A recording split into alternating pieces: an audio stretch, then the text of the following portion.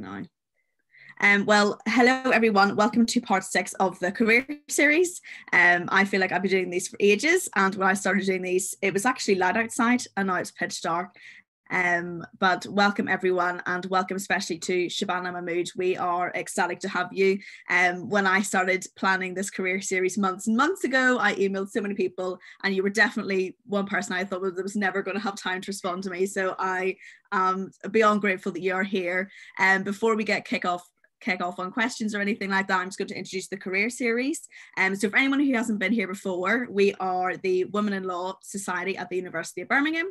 We aim to increase the female population in the legal workforce and the political workforce and the careers in general everywhere. We hope that through our initiatives and our campaigns and our events that we can increase the confidence of women in the skills that they already do have and the skills that they don't yet have but will be able to have to enter the legal force or whatever force they want to enter into. We are the Women in Law Society but we aim our skills are transferable through all of the degrees and the university in general. We hope that equality will not only be a fiction but in practice and in every workforce and we also appreciate that men can also suffer from confidence issues and selling themselves. But we are mainly here to know that women in the legal workforce, especially in senior positions, is a gendered issue. And we hope to combat that and inspire all of the university students to aspire to any career that they want to have. And this career series was involved in, well, I designed it because I realized that because we got so many talks on commercial law careers. We never got anything on people who wanted to be charity lawyers, people who wanted to be MPs, and anybody who wanted to divert from the usual um, commercial law profession that we got so many talks on. So that's why I invented this career series, and I hope through which we can inspire people to combat and go on the career journeys they would love to go on and to get a real feel from behind the scenes because we always get talks on applications but never about careers and lives and journeys towards the careers that people aspire to be. So that's why this career series. And this is the part i'm most excited about because we always have these law talks but we've never had a talk about from the journey to law to um to a politician because I think it's actually quite common, which is why I designed this um and I had an interest for it. So this is my part six, and I'm so excited to introduce finally. Now I've done my ramble. Um, Shabana Mahmood MP. If you would love to introduce yourself, just who you are and what you do now, just a little bit before I then take you way back to your interest in law and start you back from there. Uh, great. Thank you so much for having me uh, this evening. Uh, my name is Shabana Mahmood. I'm the Member of Parliament for Birmingham Ladywood constituency. Um, I was first elected in 2010 and re-elected at the most recent general election, which uh, was almost exactly a year ago, actually, scarily enough. but yeah, no, I'm a, I've been in this job just over 10 years now. Oh, that's brilliant. Thank you so much.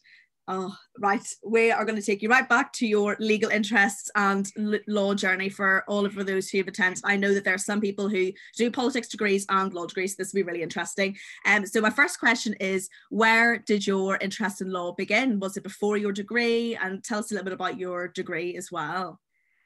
Um, so I think I wanted to be a barrister probably before I fully understood what being a barrister was. And I have a vague memory of um, uh, one of the elders in my family saying, "Oh, Shabana really likes to talk and argue. Should be a really, really good lawyer."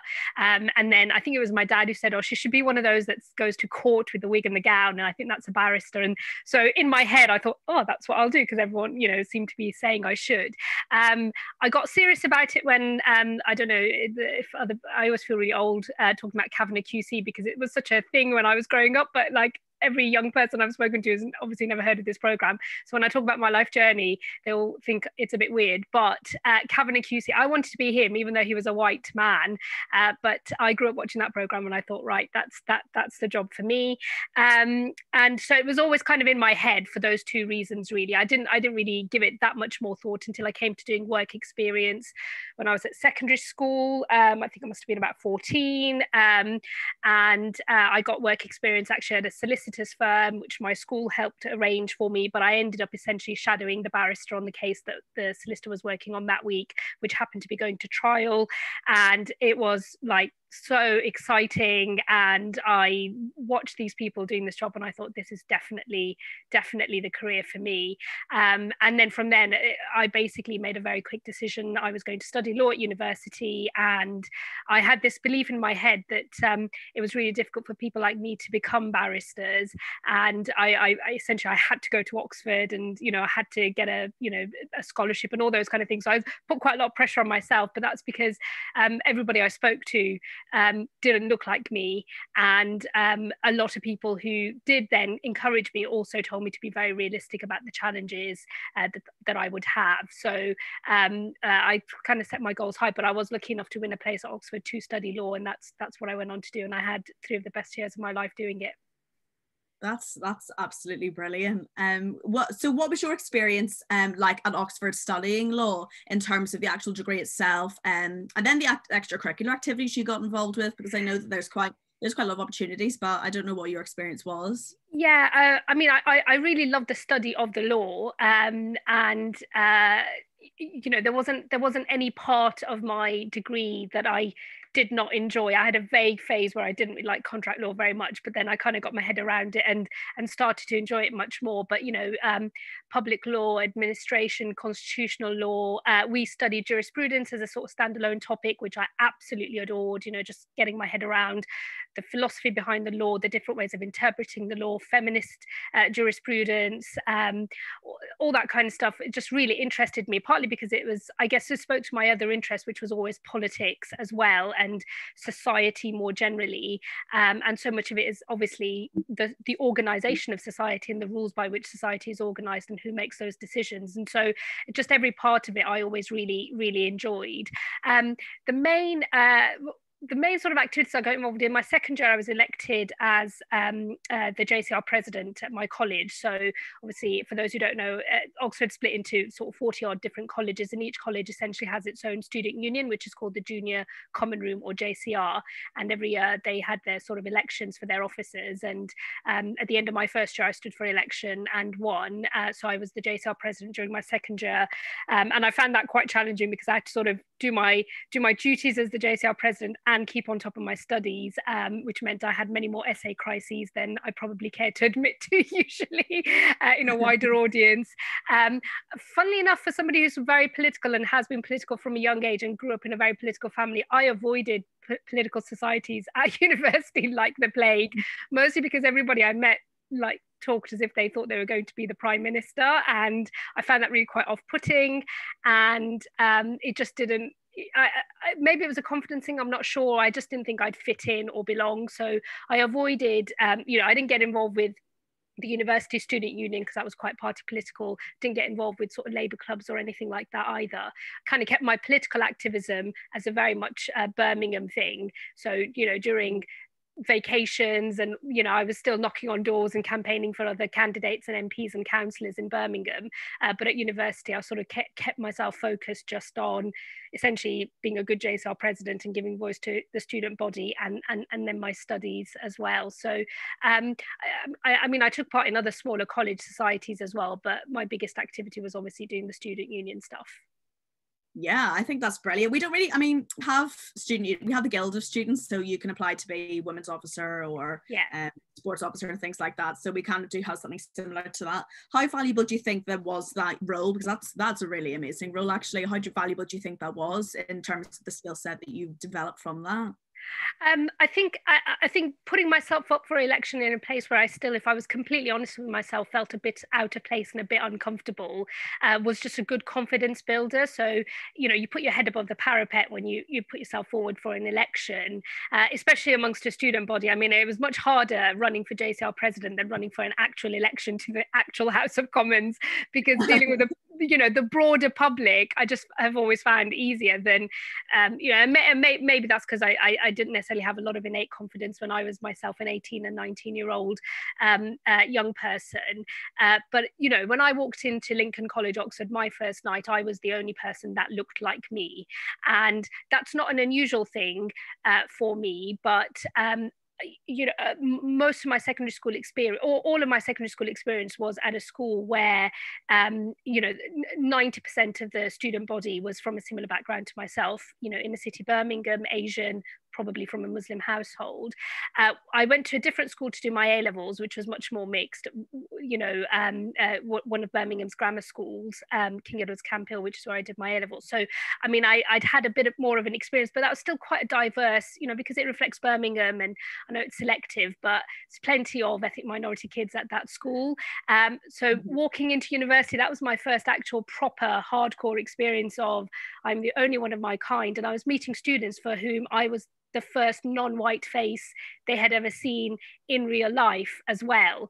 Um, and so i think that the, the thing i took most from then having just pushed myself to run for for sort of being their president after a year of being there was just the value I took from it was I put myself forward and I had the confidence to do that. And eventually I told myself that I, I didn't care if I won or not because the experience in itself was a good thing. And I was demonstrating to all of these people that I had the confidence to assume I could basically win an election and, and be in charge, which I thought was, you know, for, for personal growth was quite important. Obviously, I didn't really expect to win, which is exactly what happened in my political career as well. I didn't really expect actually to win the selection that got me um, uh, chosen as the Labour candidate in Ladywood but um, having committed to it i then did it properly and that's that's something i took you know further on when I was both a lawyer and then also um, as a politician. Once I made a decision and I put my head above the parapet, then I was 100% on it, even if inside I thought, well, I'm not going to win, but it's a good life experience. and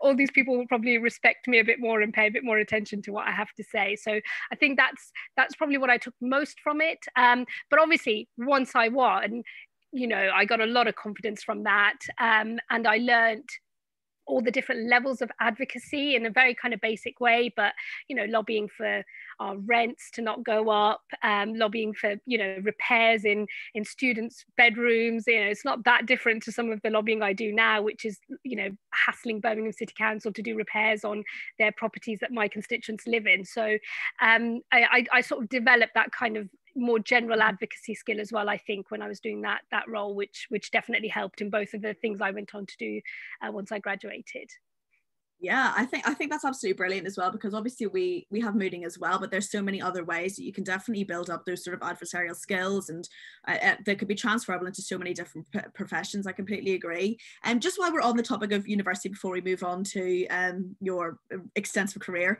um, do you have any tips for anybody starting off trying to because we have quite a lot of diverse people from first year to um, second year or wherever do you have any tips for anybody who has imposter syndrome who wants to start applying for these positions who wants to go for maybe a, a women in law position a society position or or any vacation scheme application in general? Do you have any tips for anybody? Um, I, I, I think the, the sort of biggest takeaway from my own life experience is um, if, if you don't put in or you don't put yourself forward then you'll never you'll never progress and you'll never know if that was a good thing for you or not. Um, and so the trick i learned was not to see losing something as a defeat. So i i was already thinking for example when i ran for jcr president you know this will be a great story to tell at an interview in the future or this will be a you know this will be something that i'll be able to refer back to later on in my life. Um, and and and definitely seeing the process of running or putting yourself forward as an an end in itself i think is quite quite important because um, then you stop focusing on whether you're going to get the win at the end of it. And so it doesn't knock your confidence quite as much if you think part of the win is i put myself forward. Um, and and also to not second guess yourself or feel or, or almost prior shame and guilt and humiliation for losing at something. Um, before before that's happened you know and and to to, to just go for it really. I, I think that um, if i if i was back at university i'd probably try my hand at more things than i than i did. Um, I, I think i was already sort of eh, you know just trying to fit in and get on with things and very much focused on my studies and you know wanting to do really well. Um, I, I kind of almost contracted I, even though I went on obviously to do this really great thing uh, during my second year, I kind of contracted myself quite quickly as well.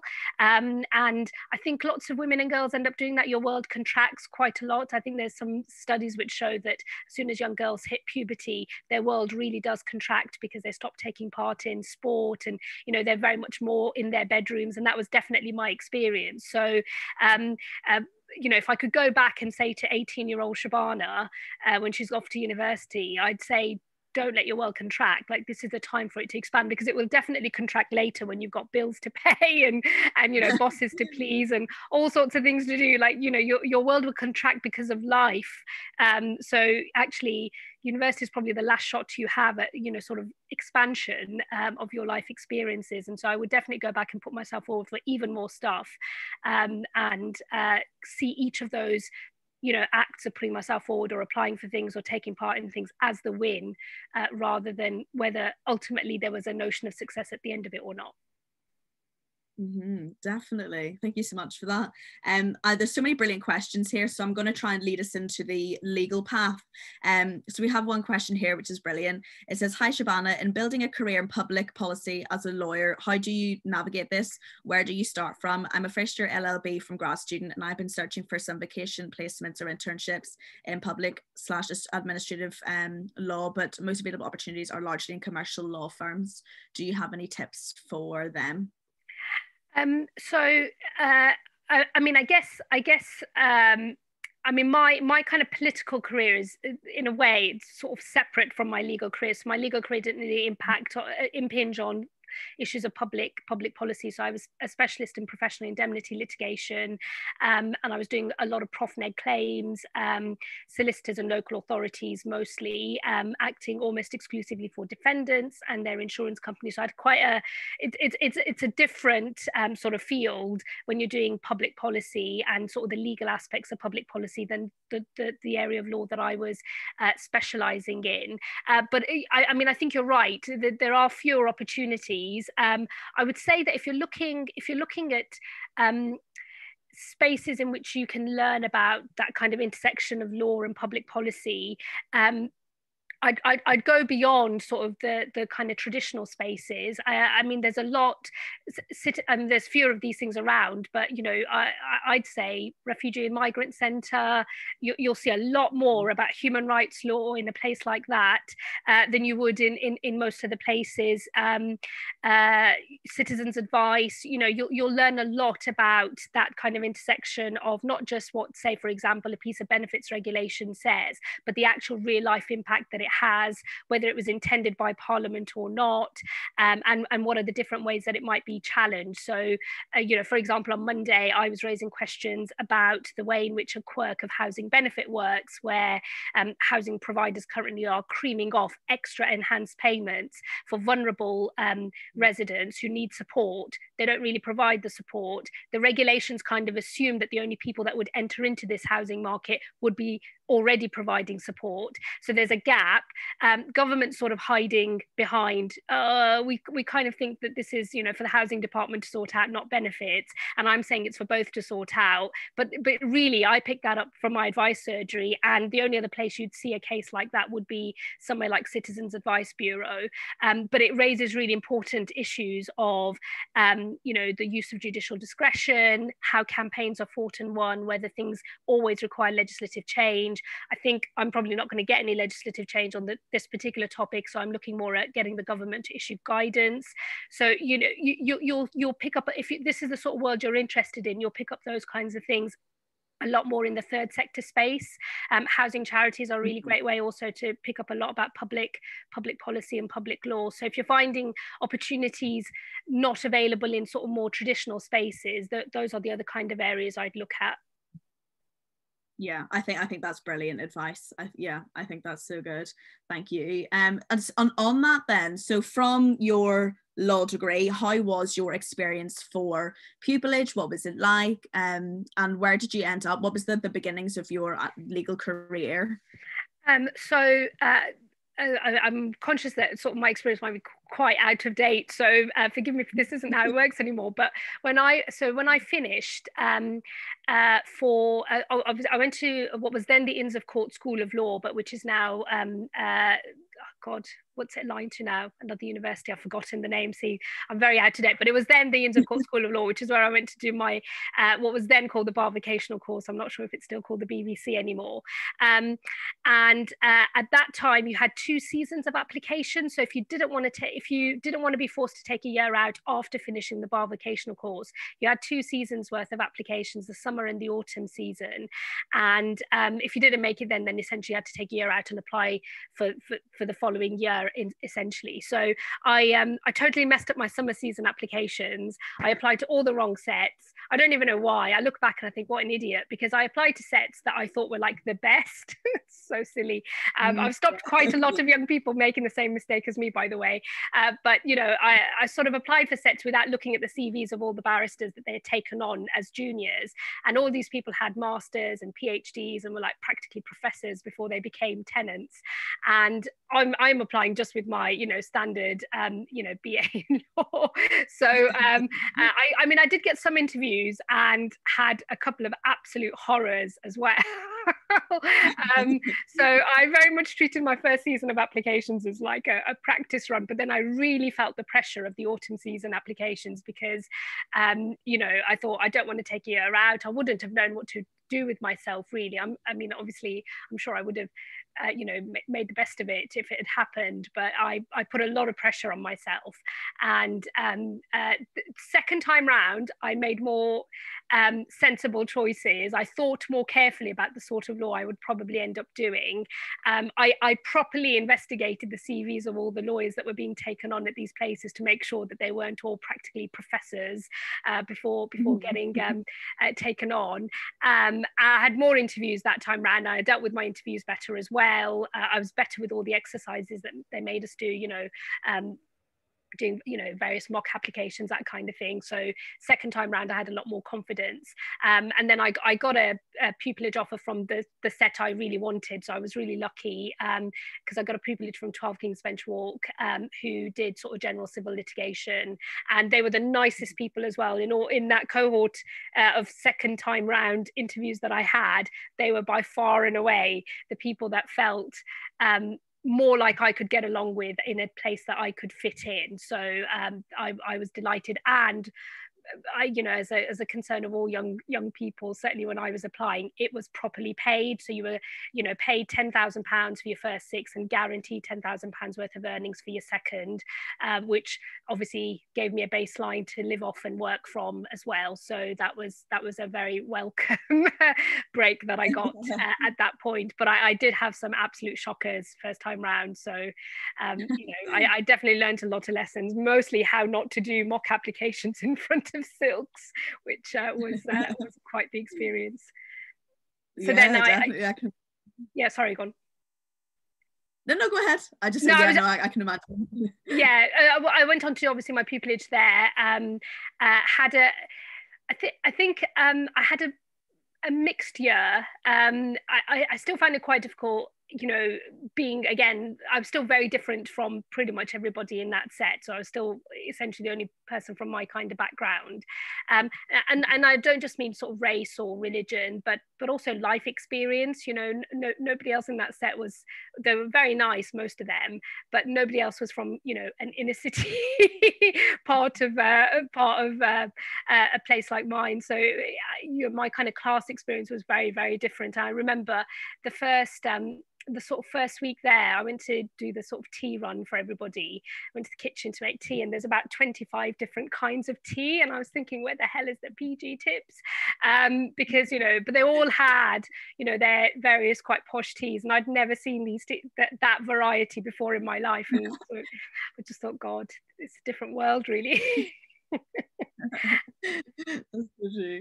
Um, well, one question we have, which is related to this aspect, is um, from Lynette. She says, Hi, Shabana. Um, I was wondering if you had any advice on how best to sell yourself and your experience and skills during applications and interviews. And I think that's then quite applicable to people who want to apply for the bar. It is, I think it's a very similar process. I'm not one for the bar myself, but it is basically the same thing where you do have the pupillage and then applications yeah. for tenancy and things like that. So do you have any tips on how best to sell yourself uh, and your skills? Yeah, I mean, definitely don't sell yourself short. Um, uh, definitely sort of try try in advance to have got as many good experiences. So i had done um, a few mini pupillages um, in birmingham.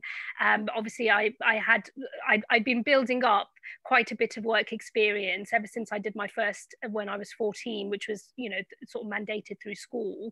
Uh, but after that, I'd been picking up odds and sods of work. Um, we, the, the, Commission for Racial Equality, as it then was, had an office in Birmingham, and I managed to get a temping gig in there. But then I sort of stayed on essentially in a sort of weird volunteer intern capacity. But you know, I was I was doing that, they, they were sort of starting their first kind of uh, claims under what was then the new Human Rights Act, and so I, I kind of got a bit involved in that. So all all the way through, I had been building up work experience, which I think uh, definitely when I got into Twelve Kings Bench Walk, you know, that was that was one of the factors that had helped my CV stand out from the crowd a bit. Obviously, uh, the sort of general advocacy at university that I'd done through being JCR president and sort of projects I'd worked on, uh, the things I was able to um, show and demonstrate that I had advocacy ability that I could take a lot of arguments and marshal them very quickly and work out what I was going to say about them. So every kind of bit of experience that I had that spoke to that was what I then amplified um, when when I was writing my applications. Um, and so I, I, I, would say you definitely have to have a game plan. If you're going to do this, you commit to it, and then you know you've got to spend a bit of time building all of those things up. But once you've once you've done it, then then I think you you are able to demonstrate. Certainly, you should be able to get through that first sift of CVs. But in interview, you'll be able to demonstrate that you have the sort of skills they're looking for. Um, and mm-hmm. and for me, the two of advocacy and um, you know, uh, synthesizing a lot of information very quickly and thinking on your feet what to say about it. Um, that that I think is quite important. I didn't really do yeah. moots and things like that so much actually. I, I don't know why, but I, I didn't. Um, I, I did other things that involved speech making and thinking on my feet, but but not so much mooting. But I know that that's something obviously that a lot of people do, and certainly most of most of the people I was competing with um, when we were all applying, you know, had prizes and you know in, in, in all these kinds of areas. So it's it's definitely something I think if, if you're going to do it, that should be part of your game plan. Yeah, yeah, definitely. Thank you for that advice. I think that'd be really useful.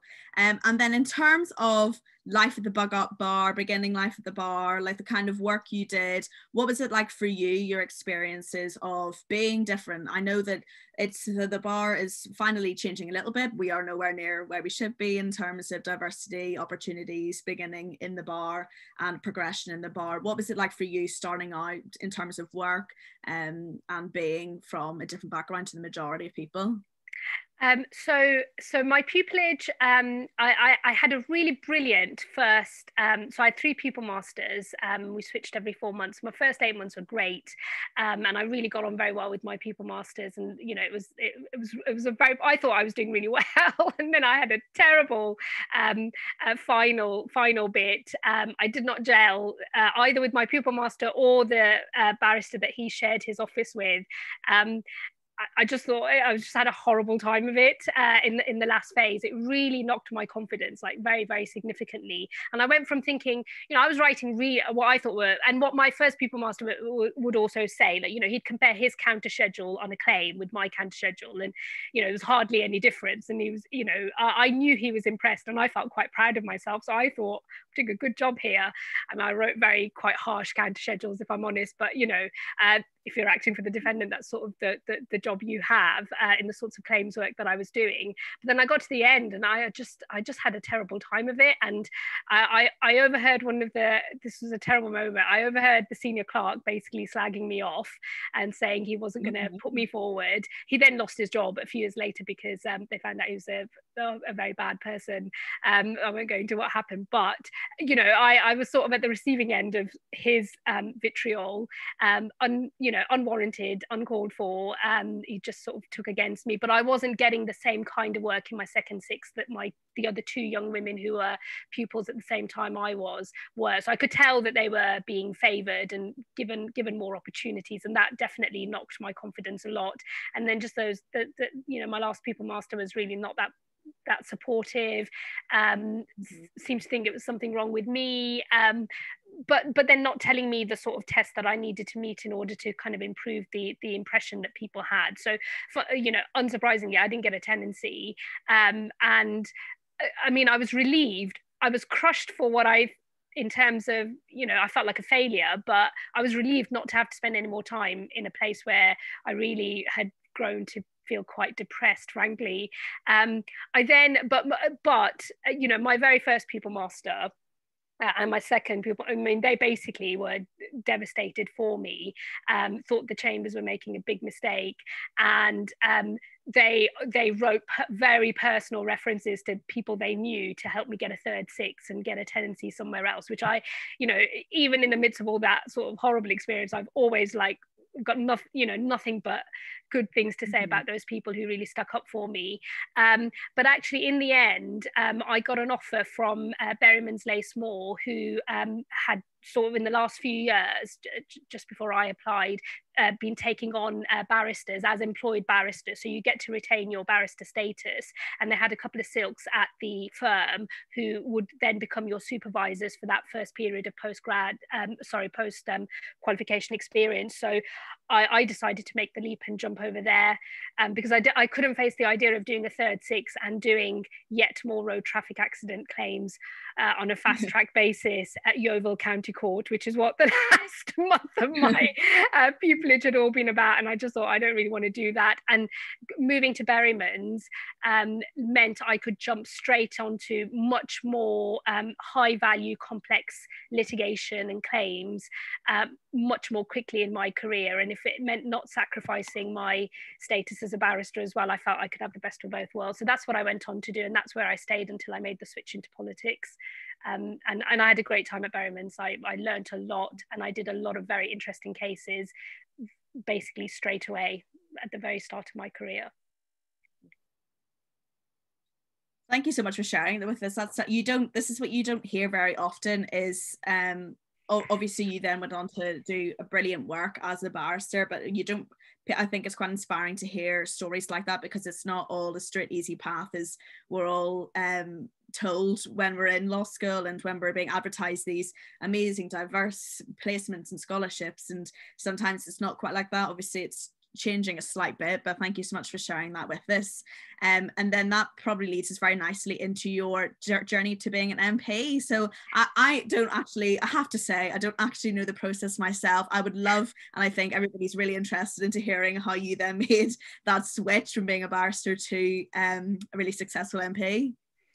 Um, so uh, I, I, said a bit earlier, political activism has always been a part of my life. Um, as, you know, my dad uh, was chair of Birmingham Labour Party. Uh, lots of people in my family have been campaigning for the Labour Party for as long as I can remember, and you know, it was quite normal from a young age for us to be out delivering leaflets um, for Labour candidates in our ward and in our constituency and across the city. And you know, I've been door knocking as well for as long as I can remember.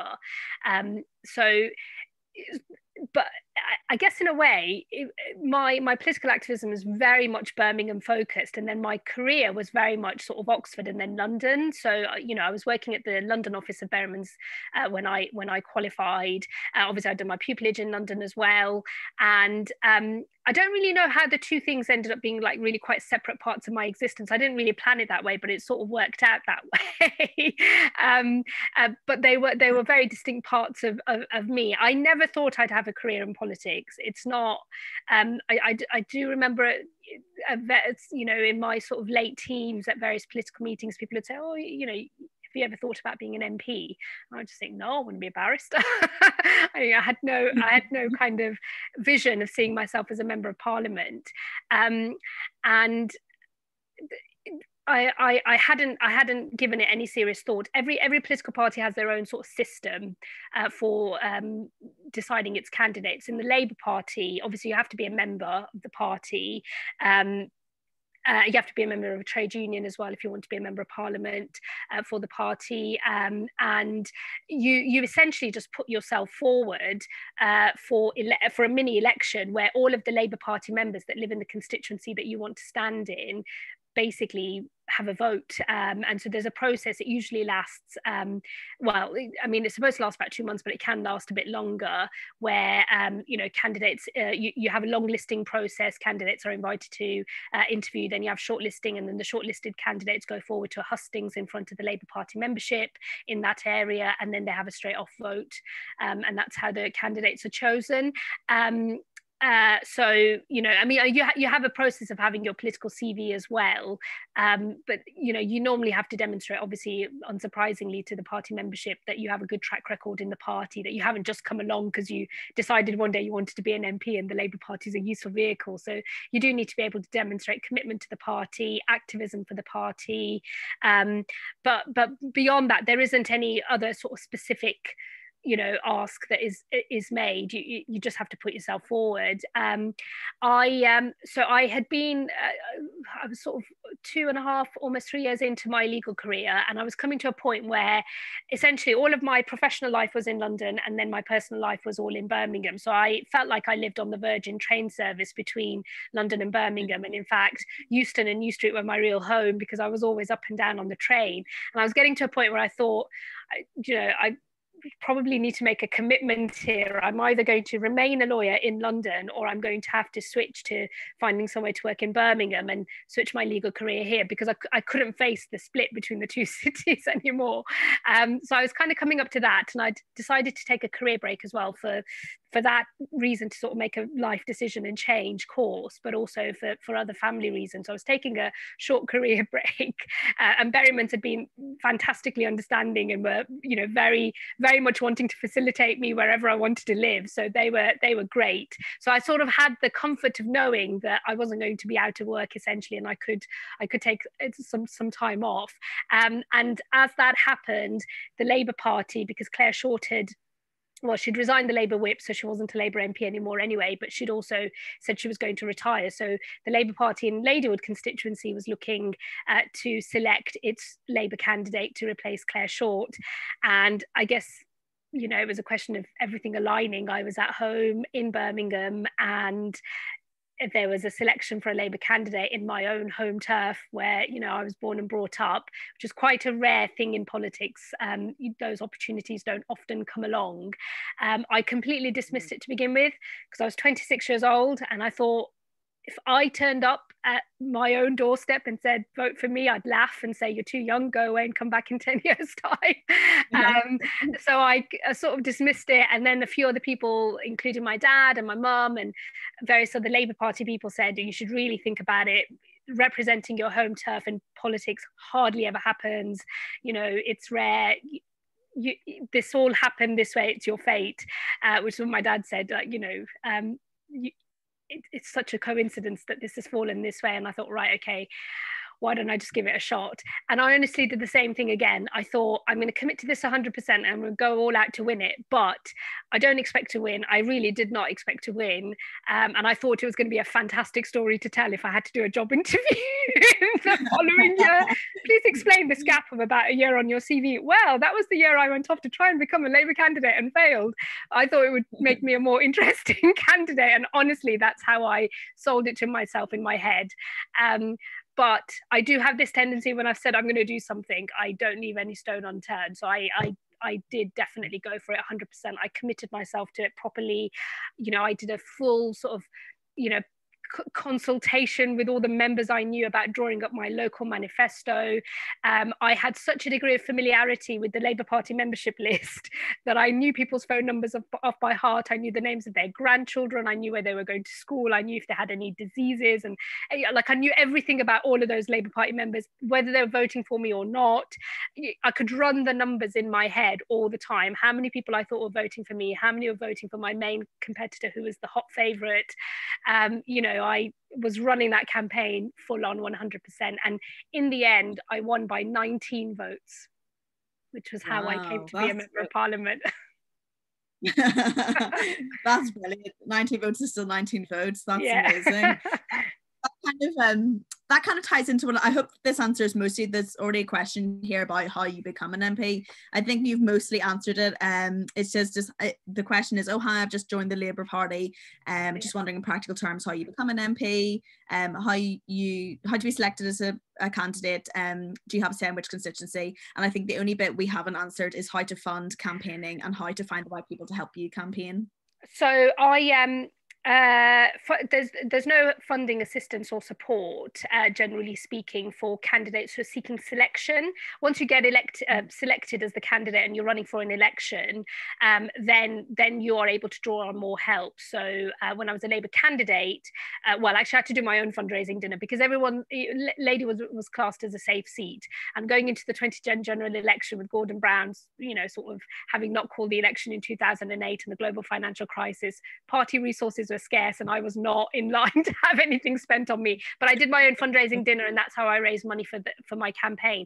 For my selection campaign, I just funded that myself. And most candidates, I mean, that is one of the bars to um, selection that you know the Labour Party is often grappling with. Like how do we broaden the field of candidates that we have and the diversity of backgrounds when actually you know um, running for selection has a cost in itself. So, you know, I had enough savings that I, I, I, didn't need to work immediately, so I could focus 100% on my campaign. I prepared my own literature, which I paid for the printing of.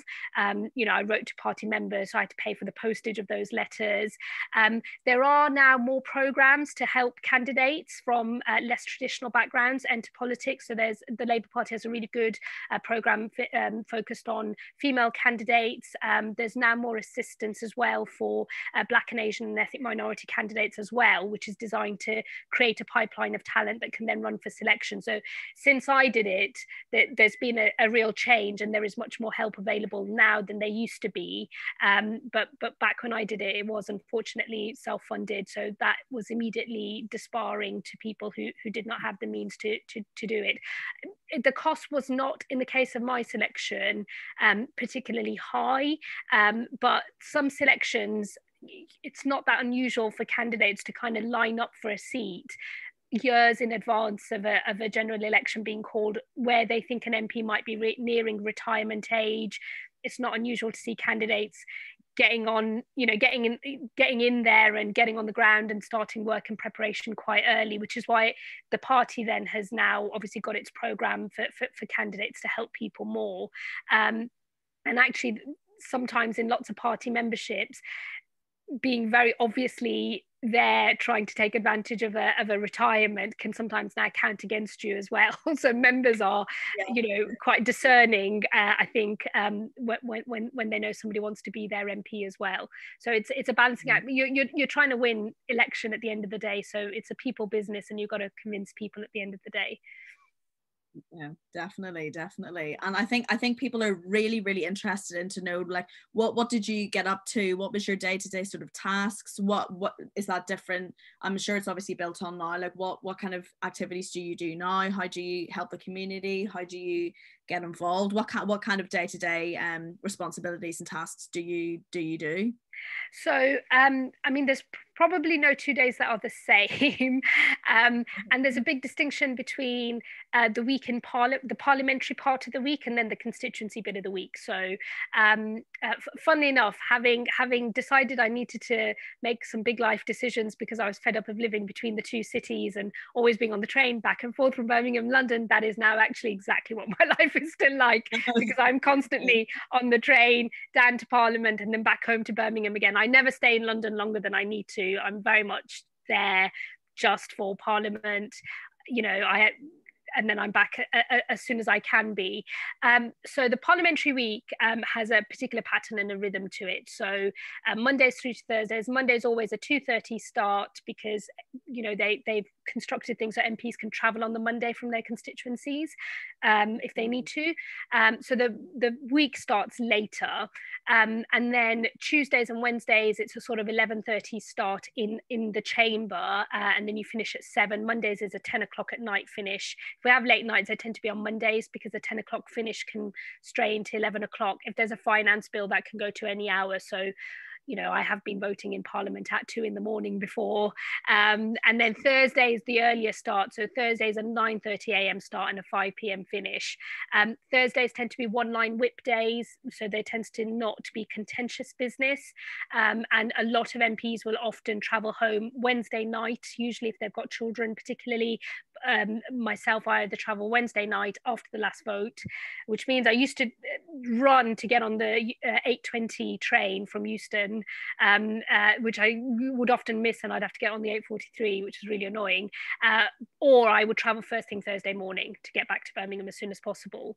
Um, so, that, but obviously just because parliament sits at 2.30 or 11.30 doesn't mean to say your parliamentary day doesn't start till then because um, usually um, I, I, I, when i first started i was kind of doing 9 a.m.s and then i thought why am i killing myself? Because i'm still going to be sitting at my desk at 11 o'clock at night and this is no way to live. So i've got really bullshit but i don't do breakfast meetings. There's nothing that needs to happen over breakfast frankly uh, as far as i'm concerned other than me actually eating my breakfast. So i tend not to allow any meetings to creep in into my diary before nine o'clock um, in the morning. Uh, but then usually from nine onwards, I will do I don't know, briefings or meetings with stakeholders on, on, on whatever my business of the week is. Um, I try and keep Tuesdays and Wednesdays free uh, so that I can take part in part chamber, um, so do various debates. It obviously depends on what the business of the house is. That can, you know, sometimes I've had a full day of meetings with my constituents planned on, say, a Wednesday, and then there's a really important debate, and I've ended up not being able to do anything other than sit in the chamber and wait to be called. So you have to be quite nimble uh, with what you're doing during your parliamentary week. Um, and then the constituency bit of the week uh, for me is usually Thursday afternoons, Thursday evenings, and then all day Friday. And I sort of stop at about Saturday lunchtime. Uh, it's quite rare for me to say yes to a Sunday thing. Um, I try and keep that as a sacred family day because my mother is scarier than any other person I know, and her three line whips really mean something. So I try not to do anything on a Sunday. If I do, then I almost like claw that time back at a later part in the in you know in the um, month. Um, Saturday mornings tend to be my advice surgery. Um, Friday evenings is my advice surgery as well. When I'm not doing an advice surgery, I might do campaigning on a Saturday morning, so sort of do Labour Party work. Um, Thursday evenings, I tend to do constituency meetings. It's quite rare for me to do a Wednesday night like this one, but obviously because of the new reality of Zoom and the new timings, I've been able to do a few more uh, like this. Um, but yeah, so the two halves of the week have a very different feel and flavour to them. My Fridays are always like the best day of the week, but also a total nightmare because I literally am chock a block.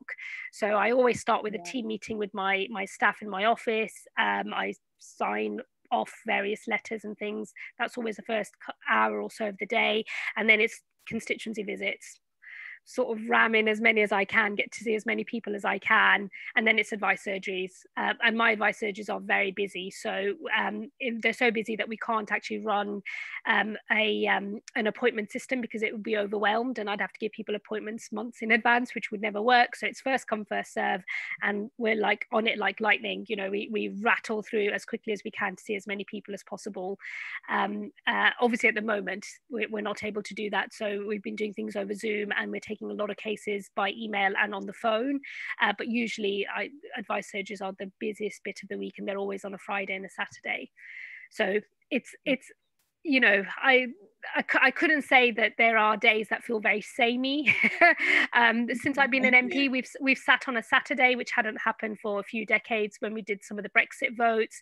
The last Parliament, mm. actually, 2017 to 2019, was a really weird Parliament because obviously the government didn't have a stable majority at all um, and there, there were lots of very late night machinations and all sorts of things happening that required a very different kind of timing and you know adjustment. I mean I, st- I still feel like i'm recovering from those two years of politics because they were very different to the first sort of five or six years that i'd had where at least you could get into a rhythm whereas that parliament there was no rhythm to be found anywhere Yeah. Oh my goodness. I th- I thought I was somewhat busy, but that's that's in- inspiring. I've never heard a weekly schedule like that in my life. um, this so apart from the obviously practical duties and the brilliant work you do during the during your MP career, and there's a brilliant question here from Zoe, um, and she asks, "Hi Shabana, how did you gain confidence to embrace your own diversity in the workplace? I'm always keen to celebrate my own individual diversity, um, but this can be nerve wracking to do when there's no one else in the room that shared my experience, and I assume that's especially so in the MP field as well, because again, it's not as diverse as we would like it to be in the workplaces. Um, so how, how do you gain the confidence to embrace diversity in the workplace? Um, so, just in terms of my own personal experience, um, I think uh, I sort of forced myself to think and believe until I actually did believe um, that I'm as good as anybody else who's there. And um, certainly when I was a lawyer, I mean, I had lots of knocks to my confidence, as I was telling you all earlier. Um, but you just have to regroup really because there's no other choice that's your that's my career that's my job i've got to earn a living and um, I kept telling myself I am as good, and you know I've I've got just as much to offer, and um, sort of faking confidence until you actually start to feel it for real. Um, and there's been many most of my life i feel like i've faked confidence rather than actually felt it for real um, mm-hmm. but it's a useful skill and it's usually something you just learn out of necessity because it's do or die you know you like I'm either going to succeed as a lawyer or I'm not, and I need to succeed, and therefore I'm just going to force myself into this position of thinking more positively about myself and, and what I have to offer. Um, so so that's definitely something that that I've done a lot of, and which has helped me. Um, and then as a politician, there's a lot of that as well, sort of faking confidence. Um, uh, I, I, take a lot of comfort from the fact that basically most MPs, when, when we talk privately, they'll say often the same thing, uh, men as well well as women, but definitely all the women is very much a case of you know um, uh, faking confidence. So we, we, uh, you know, the the thing I didn't really um, understand so well until I actually became a member of parliament is like I'd put my head above the parapet. I'd sort of done that before. I thought I, I would got the measure of what that was, but um, the scrutiny that comes with being a public face and understanding the difference between you the public face and then you the personal individual. And politics is deeply personal so it's very hard to try and split the two things off. But you know i'd never I like i don't really spend a lot of time looking at my face which when your face is plastered all over leaflets is quite you know, I often thought, oh, have I made the right life choice here because this is quite weird and I don't really like it. I don't like watching myself back on the telly. You know, I'm not necessarily a fan of hearing my own voice back at myself either. So, um, you know, I, I very much just do those things and then I move on and don't don't think about them so much um, again. But it's very exposing and um, also you know you're if you're holding out for universal popularity like this is not the job for you. Uh, there will be people who who just take against you. Um you know i've had um leaving aside sort of straight up abusive emails or messages um uh, just just just people who just really think that like I have nothing of use to say and are very vocal about making sure they've said it.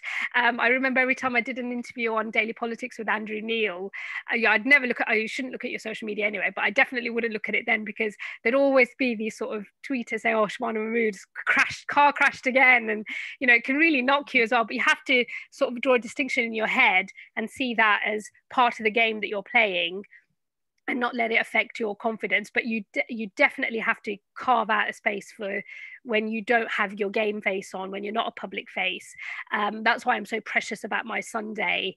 Um, that's why you know when i'm at home i'm very much at home. This is not this is not a, a, space for politics really. And i try you know i've separated out my work phone from my personal phone. I won't look at my work phone outside of my parliamentary hours or when i've switched off uh, when i'm back at home in birmingham. So just finding ways to remember that that person who you know that is me too and i'm being true to you know i'm saying what i think i'm saying what i believe i'm standing up for the people i represent um, but you need a bit of armor as well so otherwise it's so exposing and the scrutiny you get for your you know your makeup your clothes all the things that i sort of thought why would anybody care about that? But you know when you're in the public eye obviously those are all that's all part of the parcel and part of the package of things you have to deal with none of which i really expected to have to deal with. So had to learn on the job. Um, but it, it, comes with time, it comes with experience. And at the end of the day, I have a mandate, I have a responsibility to stand up for people. I have a responsibility to stand up for people who are not going to be very popular with other members of the public on difficult issues where I've had a, you know, Twitter pile on or where the government said, oh, you know, Shabana Mahmood speaking up for prisoners, like who cares about them? But, you know, if I represent their families, I have a responsibility. I can't just say, oh, bit difficult. I won't be popular on Twitter. I won't be popular with a particular section of the media. So I'll just stay quiet over here and not give voice to these people. They've elected me. Um, I don't have to agree with them on everything. But if they're raising valid concerns and valid issues that speak to an issue of public policy, I have a responsibility to raise it. Um, and that's that in the end that's what makes you speak up and find confidence more than anything else because that's your job that's yeah. your mandate Absolutely. Thank you so much for that. I think that's so interesting, especially on having confidence in the responsibilities that you do have and actually have to. I didn't even think about that really when putting yourself forward. You do have to represent people and the valid views of some and um bringing those views forward whether you completely agree with them or not i think that that that's brilliant. Thank you so much. That kind of so we've got time for two more questions i think and they're quite quick ones but um there's a brilliant one here and it says hi shabana do you have any tips on how to improve communication public speaking skills? Obviously you just mentioned the when when they are really brilliant issues you do have that confidence because you are their representative to bring those questions forward. Do you have any sort of final tips for anybody to improve those public speaking skills? Uh, practice pra- practice is what does it in the end. I, I, give the same advice to other MPs on media as well. Um, I mean, I don't look at my first few media appearances, um, uh, but uh, this is the useful thing from um, having trained as a barrister because I, I, don't know again if this is a thing that people still do, but you know, we would be filmed doing our applications or our mock trials and our cross examinations and so on, and then we'd have to watch it back as a whole group, uh, your individual performance, which was so mortifying, um, you know, with your own cohort of students, but actually a very useful life skill. Firstly, you, you, you learn to filter out very quickly embarrassment and mortification at your own performance, and you learn to be quite clinical about the things you're good at and the things you need to be, you need to improve at. Um, and I always embrace that after I got over the initial horror of watching myself back in a room full of my other, my, my friends and my fellow students. Uh, but having done that, actually, I find it easier to improve as a media performer because um, you know i have what i force myself to watch back. I absolutely hate doing it but uh, you watch yourself back and you're able to see and it's it's really immediately obvious as well like where where where i needed to improve and where i needed what, what the things i was doing well. Um but the best thing was just experience. I would i learned to say yes to more media opportunities and then that generates more and more and more. And by by you know by the end of my sort of first phase as a shadow minister um you know i was considered one of the party's sort of more reliable media performers but that's just because i've done a lot more. And and in the end that is the only way to do it. So it, it comes from practice and experience. Um and you know and then after that i never felt nervous whether i was in front of jeremy paxman or andrew neil or emily maitlis or anybody you know all the top sort of interviewers of their day. I've, I've done interviews with all of them now and actually had fun at most of them because once you've got a bit of experience under your belt, confidence comes from that. Um, and in the end, I was really quite enjoying myself. So um, I, I would say practice makes perfect and watching yourself back and being brutal with yourself and clinical and detached when you give yourself feedback or take feedback from others, but do it constructively and always learn and build from it. Yeah, that, that's something I definitely didn't think I would hear having fun on Andrew Neil interviews and oh, he's TV. a total pussycat off. Uh, when the camera's not on, he's he's a total pussycat. He's, he's very easy to deal with. I got absolutely destroyed by him, by the way. The first couple I did, I was like, oh my god, I never want to go on again. Um, but then I watched them back, and they weren't as bad when I was watching as when I was actually mm. doing them. Uh, but then I learned the trick of handling him, and I learned better to anticipate where our issues were going to be. So, uh, but in the end, I was so good at it that they would the party would deliberately give me the hospital pass of the day because I was quite good at fielding the hospital pass. So it's a very that's a very particular kind of skill, but it's one that I um, ended up without meaning to developing. So definitely, definitely. And then one one tiny quick question before yeah. we um jump off: Would you ever go back to a career in law? Oh gosh, oh that's a really good question.